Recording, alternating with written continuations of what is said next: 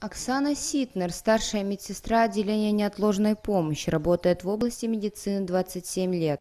Во время пандемии работа наша, как и сейчас, заключается и заключалась в том, чтобы принимать пациентов э, разной категории сложности. Работаем мы в отделении отложной помощи. То есть, как это раньше было сказано, это приемный покой. Сюда поступают пациенты разной специфики и с травмами, и с заболеваниями.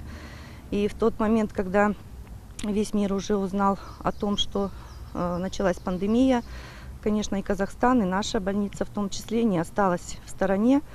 Мы уже были готовы, э, уже были отработаны и постановления санврачей, и э, закуплены средства индивидуальной защиты, Казахстане более 8 тысяч медицинских работников заразилось COVID-19. Акмолинские медики сегодня вспоминают этот страшный период. Эм, Хочу сказать, что в тот момент эм, именно семья работников медицинских ушла на задний план. Э, Мы перестали находиться дома.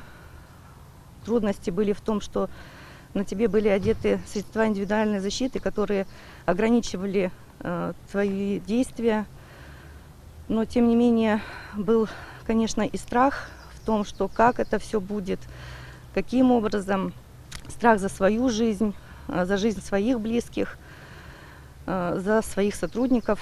Но тем не менее слаженная работа, работа в команде, э, постоянное соблюдение правил безопасности, ношение вот СИС, они, конечно, во многом нас защищали. По словам специалистов, самый эффективный способ борьбы с пандемией – это массовая вакцинация, формирование коллективного иммунитета. Для этого из бюджета было выделено более 50 миллиардов тенге. На сегодня в регионе привито более 20 тысяч человек. Айгерим Бегенова, Гульмира Манбаева, Павел Соловьев, Кукщак Парад.